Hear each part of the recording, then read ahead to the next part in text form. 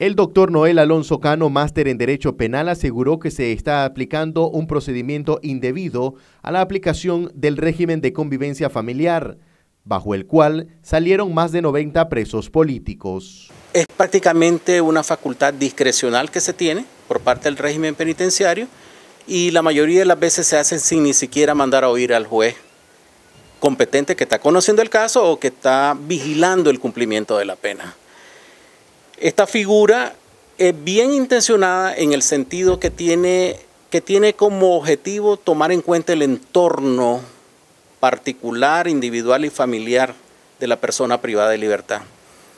En Nicaragua se está usando de forma indiscriminada. Si no se está haciendo siguiendo los procedimientos que la ley manda. El juez de la causa, por ejemplo, muchas veces no se da cuenta y cuando ve que ya está libre, solo se le informa es, digamos, parte de la inseguridad jurídica que vivimos en Nicaragua. Ahora, doctor, ¿hay alguna restricción para las personas que se les apliquen este tipo de medidas?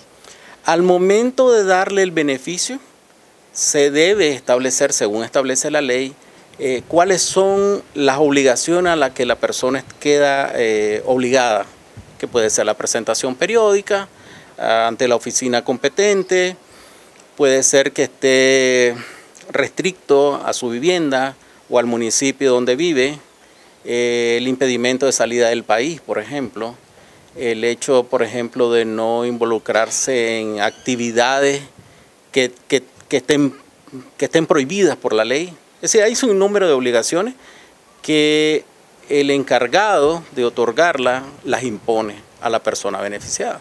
Ahora, Em, los procesos judiciales contra aquellas personas que gozan ahora de medidas cautelares o, de régimen de convivencia familiar continúan, se suspenden, ¿cómo está su estatus?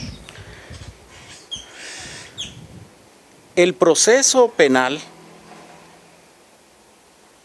en teoría debe continuar su curso, porque ese proceso no ha concluido, a menos de que se tome una decisión por parte del juez competente poniéndole fin al proceso.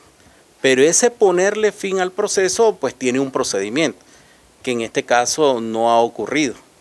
Podría ser, podría ser, legalmente se puede, que el juez diga de que a su juicio, después de valorar los hechos controvertidos, no hay la comisión de un delito, que la persona no ha cometido el delito por el cual se le inició un proceso.